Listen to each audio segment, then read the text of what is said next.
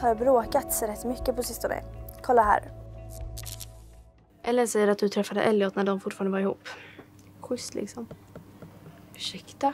Varför litar ni på Ellen? Du visste ju visst att vi var tillsammans. Nej, det visste jag faktiskt inte. Alltså du är så jävla falsk Vilma. Alltså jag är så jävla trött på er.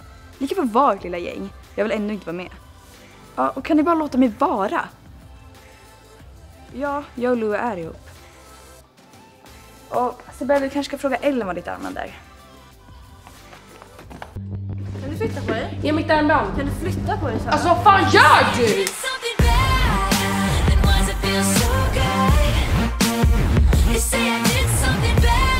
Fan gör du?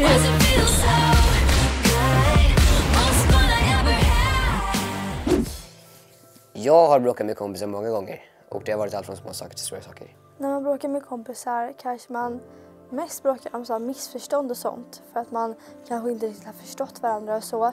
Så att då kanske man tror att den ena personen gör eller har gjort eller tänker på något visst sätt fast den inte gör det och då kanske man börjar bråka på det sättet.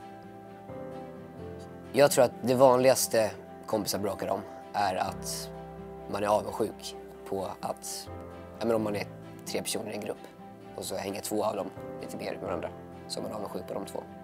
Att man inte får vara med i gänget liksom, lika mycket. Det tror jag är, är det vanligaste bråket bland kompisar. Det kan vara okej att bråka med en kompis ibland. Ehm, man kan få ha stora bråk men det är viktigt att man löser det och inte är arga på varandra efter bråket. Om du som tittar bråkar eller brukar bråka med en kompis så kan det vara smart att liksom titta på det från din kompis perspektiv eh, och se om det du gjort är dumt. Och då be om ursäkt för det. Eh, och då kanske din kompis också ber om ursäkt för det den, din kompis möjligen gjort. Och man kan ju få ifrågasätta andras åsikter men man måste respektera den åsikten.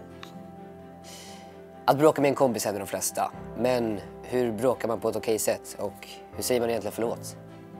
Tips nummer ett. Ibland så spelar det inte så stor roll vem som har rätt och fel. I alla fall inte om det handlar om en små sak. Då är det kanske viktigare att ni fortsätter vara kompisar. Tips nummer två.